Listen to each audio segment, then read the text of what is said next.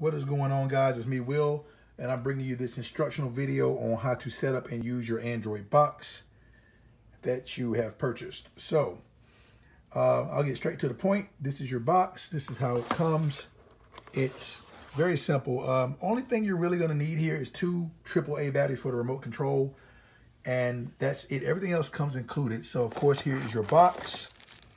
We'll get to that in a second. Up under underneath, if you lift this up, you've got your packaging, which includes power cord, your HDMI cable to hook to your flat screen TV, and the remote we just discussed, which will take the two AAA batteries in the back. Okay. So now for, for demonstration purposes, I've already got some of this stuff unboxed. So I'm just gonna give you the breakdown of this. Um, and then we'll plug up a box and show you how, how to navigate and use it. So when you take it out, very simple packaging. You got your USBs over there if you want to plug up a mouse or keyboard or you know a USB flash drive, but the hookups are back here. So very simple. When my finger is here, you've got your power cord, which plugs into your wall or uh, your, surge protector. You got your HDMI cable goes to your TV. Now, if your modem for your internet, because this is, does require internet, if your modem is right near the box, you can use an Ethernet cable to plug this up directly to the box, or you can use Wi-Fi. Ethernet is always faster it's always the better connection. So if you can use this, use it. If not, use Wi-Fi. It's fine. So we'll move all that out the way. This is your Ethernet cable, and this is how it looks. Very simple, to the point. Uh, looks like a giant phone cord. comes from your modem or your router. So I've got a box here I'm going to grab and plug up. It has the exact same software on it, but this one's already set up. So we'll get straight to the point. As you can see, I've got my HDMI already right here, and I got my power cord here and I have my remote control here. So I'm to plug this up real simple into the back of the box. And I'm to plug up some power. You will see the word boot appear on the front of the box. And you'll see it booting up on the screen. That's what you'll see when it's hooked up to your TV. So it goes through like a little animated boot phase on this box. Uh, the other one has a one similar to this one. Different boxes have different videos. And so that's it. Two plugs, power and your HDMI to your television. And of course, we control everything with the remote. Remote's very simple. Up, down, left, right to navigate. Okay is like your enter button. This will take you back if you need to go back a screen. We'll use that a lot in this video. And this one, if something if it freezes or sticks, you just press this to go home. Now on your screen, you'll see this is how your box will appear. Now you'll notice up in the corner, the time is incorrect. It's not seven o'clock. Right now it's about 245. So the reason why this time is wrong is because it's not connected to the internet. And I'll show you some settings when you go to set this up. So you've plugged it up to your TV. This is the screen you come to. The first thing you're gonna need to do is get this box online on the internet.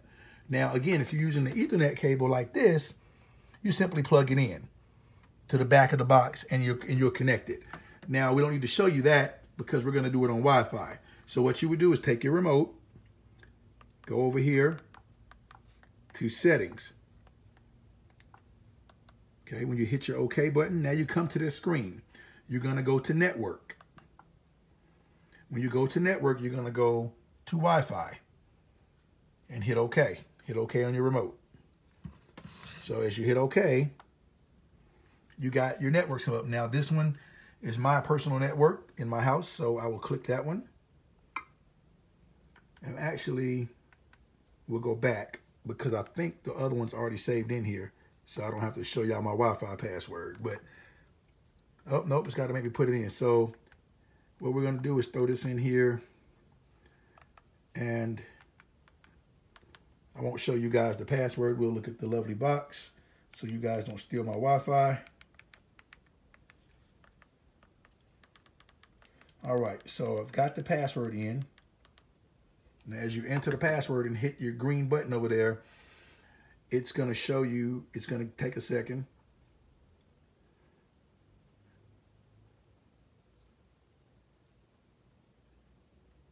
There it is, connected successfully. Okay, now you'll see that that now says connected, and this is where we start using that back button. So we hit your back button, brings you back a screen, you hit back again, it brings you back to this screen and you hit back one more time and it brings you back to the home screen. Now we notice something different up here. Notice here you got your Wi-Fi icon. This tells you that you're connected to the internet. And you now notice the time is right. It's 246. And it also says that on the front of your box in military time. But we're connected. So now we get to the part that matters. We simply have your two apps here, which are going to be your KS hosting for your live TV and your Morpheus TV for your movies. So I'll first demonstrate Morpheus, very easy to use. You simply click on this icon with the director's thing. You hit OK. This pops up on the screen as such. And you got two categories, movies, TV shows. Don't worry about the settings or downloads. All that stuff has been pre-configured for you. You don't have to touch that. If you want to watch a movie, you simply go to movies. And you got three categories, trending, popular, and search. Trending is going to show you the latest movies that are out that are trending. Popular is based on voting. It's based on whatever the most popular movies people think are. So this will vary. And search, of course, you can type in any movie you're looking for. But I'll demonstrate just trending because either in either one of these categories, when you find the movie, it's all the same process to watch it. Super easy. So you go to trending, and as we see, the latest movies pop up. So there's Captain Marvel, Avengers Endgame, Aladdin, John Wick 3, all type of stuff up here, Dark Phoenix. But we'll just start with Captain Marvel because it's the first one on the list. So you literally hit OK on your remote. As you select the movie, it searches, and you see this little bar at the top, the little circle up there that, that has the red is filling up. As it finds more links, that circle will fill in. When it finishes finding them, that circle will go away. So what will happen is that you see it's the circle is starting to gradually fill up. So basically what we do here is we let this fill up, but we don't have to wait on that. You can. I'm just going to click it for demonstration purposes. Now you got three things on the connection here. You've got yellow, red, and green on the connection. Yellow is intermittent. It works okay. Green is the best connection, and of course, red is bad. Now, in this particular one, it's one connection. It's a HD copy from a Blu-ray rip, so that means it's HD. And that yellow connection is the, to, that number right here, and I'll zoom in on that. That number represents the higher that number, the, the worse the connection. So 2600 is not bad. It'll play.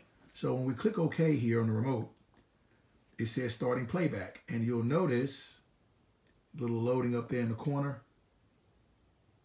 If you give that a couple seconds, the movie will actually load up. And then once it loads up, it just starts playing. And then we let it run from there. So actually I started watching it so it went to the middle of a scene, but there you are.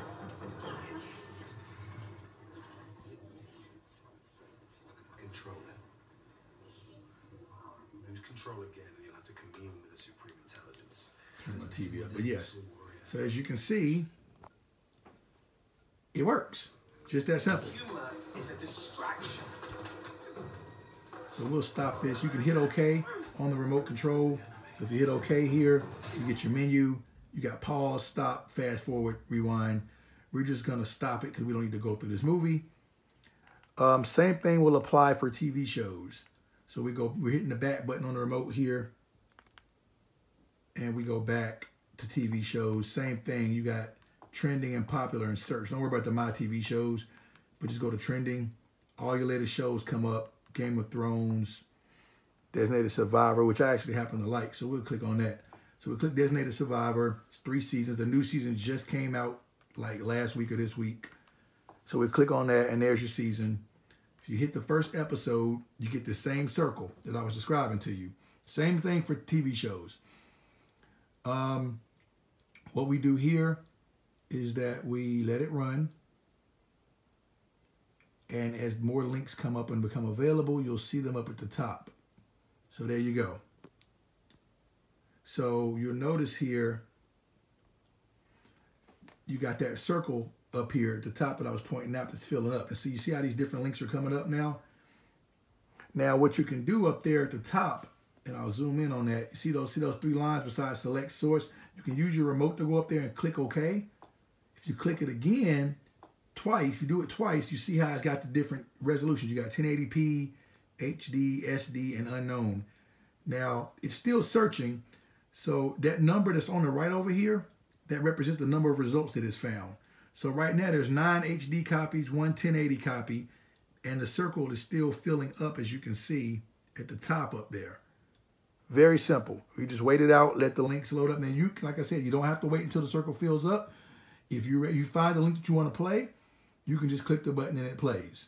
Now this show happens to come on Netflix, which proves in this box that you can get shows that come on Netflix without having Netflix. So this is a Netflix only show. So if you go to HD, you got 10 links. And this talks about the three colors I was mentioning earlier. So you notice how there's a couple of links in here that are green, there's one that's in red, and there's several that are in yellow.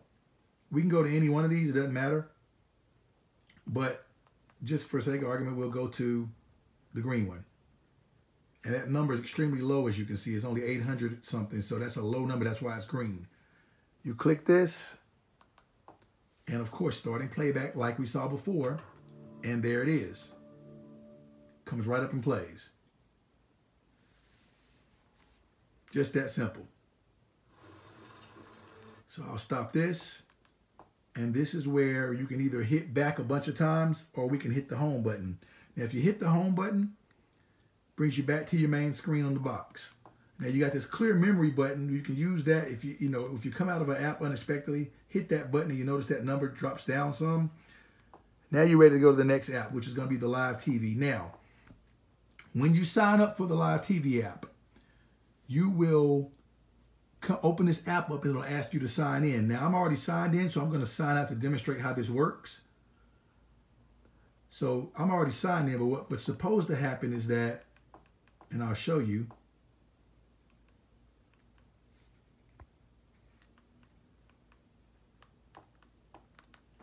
Okay, so when you come to the app and you first open it up, this is what you're going to see. Now, if you've already signed up through the website, you'll receive an email with a login. Mine is already logged in. As you can see, it's already typed in. Once you type this in, you go down, you hit login, and it comes up to this screen. This is what you will see every time you open up the app. Now, you click on live TV, and what it does every day, this does this once every 24 hours, it downloads your list of channels, your list of movies and series, and it also downloads a TV guide. And I'll cover both the ways to view this. So there's two ways to view your live TV. One with the TV guide, like a cable box style, and then the original style, which I actually prefer. So I'll show you both. Right now we're looking at the original style, and that's the main button that we clicked on. So right now you'll see this comes up and you got all your channels. Now, if you're like me and you signed up for the adult package, you have an adult category in here, which is right there. It has 35 channels of adult content. If you don't want the adult content and you didn't sign up for it, you won't see that. But we'll start at the, the simple places. So entertainment. If I click this button, hit OK, it shows you the list of channels and the list of shows that are coming on. So there we got first 48, and it's telling you on the right from 3 to 4 o'clock is first 48, and then it comes back on again at 5 from 4 to 5. If you go down to the next channel, it shows you what's coming on there. So Ellen's on. You go down, that's another AMC, Bridge of Spies. So these are all your network shows, network channels, BET, TBS, CBS, etc. As you can see, there's over 100 channels of browsing. Very simple.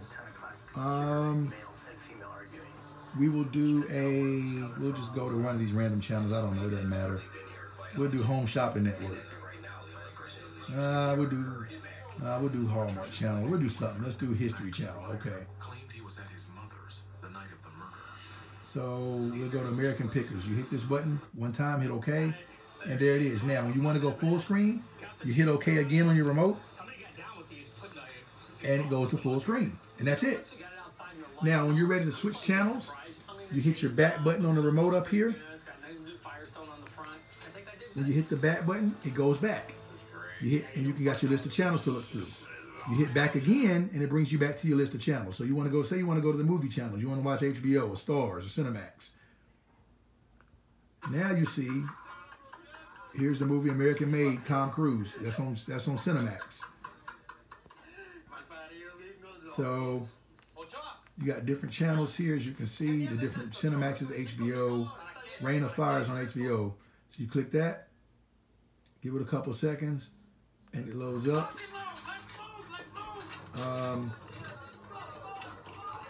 you've got multiple channels, as you can see here as well, all the HBOs, Lifetime, Starz, Showtime, So yeah, you get the idea. And say I want to go to Starz.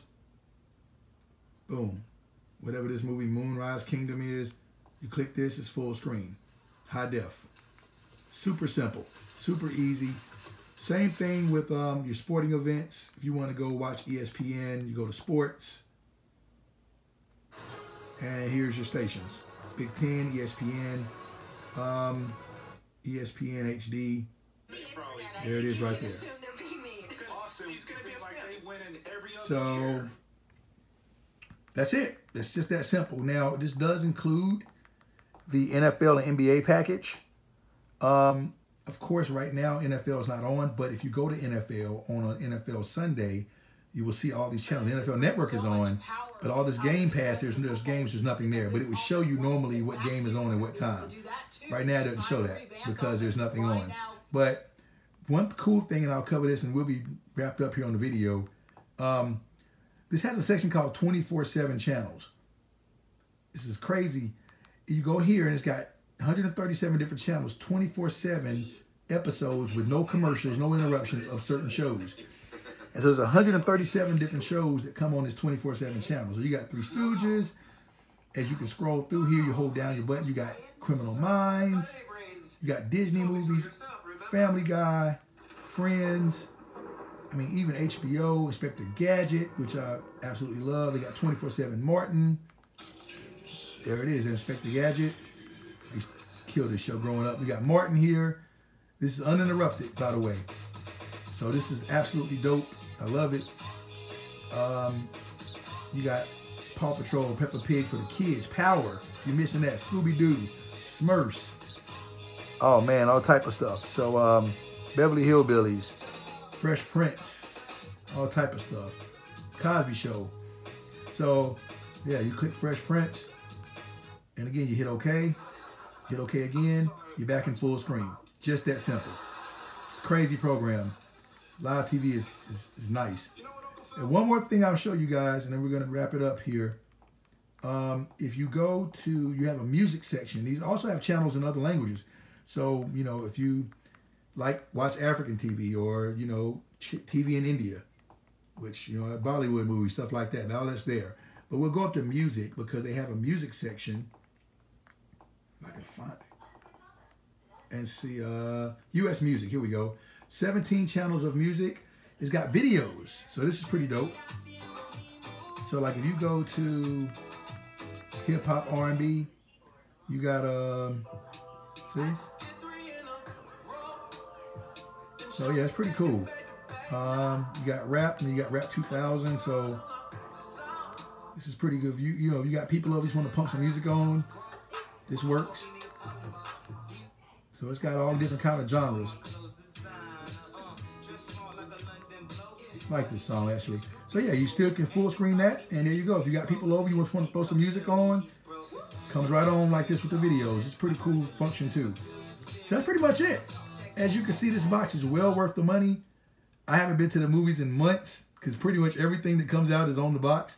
And if it's not on there immediately, that box, this box updates itself. So if you go in that movie section on the Movies app, on the Morpheus app, and you notice that there's a movie not there, it may be there. And if it is there and the copies aren't you know, crystal clear because it's still in the theater, you know, they will get better over time. And you literally can come in there one day and it's, you know, a, a not so good copy. You come back the next day and it's an HD copy. Now, one last thing I'll show you before we go, because I was telling you about the guide. I went to live TV, and that's what you guys were just looking at. If you go to live TV with EPG, it's literally the same thing, except instead of your view being like it was, you go to entertainment, for instance, and it shows you the traditional guide like a cable box. So I, some people prefer this view. I don't. I just think it's a little cumbersome, but you can try it. As you can see, the orange line is showing you what time it currently is. And so you can move your orange cursor over, but the orange line shows you exactly what's on TV right at this moment. So as you can see, this is another way to view it. it to me, it make it's harder to do it this way because there's less channels being shown. But some people prefer this because they're used to using cable boxes. So whatever works for you, you can try it this way. Like we go to Bravo, Top Chef is on. If I hit this button, we go to Top Chef. Boom. Just like that. And you still hit your back button. Hit your back button again to go back. This is all super simple, guys. Everyone can use this because it's super simple to navigate. Don't worry about the movies and series. This stuff is blank or the recordings or catch up. The only thing you worry about in this window is live TV and live with EPG if you prefer that guide view. That's it. And so we'll go back to the main. When you hit back on this screen, it'll ask you, do you want to exit? It says press again to exit. You press it again, and it goes back to your main screen. And that's it. So between those two apps, you literally have access to every TV show and movie and virtually every live TV channel. Now, I know a lot of people ask the question, can I get my local stations like News 2 or Fox 8 or whatever? This, this live TV app does not get local channels, but the solution to that is super easy. You can go to Walmart, you can go to Target, Best Buy, you can buy an HD antenna to screw into the back of your TV. They're really small now, they mount on your wall. They're like anywhere between 12 and 20 bucks. You buy one of those, you get all your local stations free. You just have to buy the antenna. But this gets you every other channel. We're talking all your sports channels, all your sports packages, all your movie channels, all your network stations without paying the high price for cable. So that's the whole point of this. So this is it. And so if there's any other questions, you guys, shoot me a comment or, you know, if you bought this for me, of course, you know how to reach me. You can inbox me, call me, etc. Have a good one.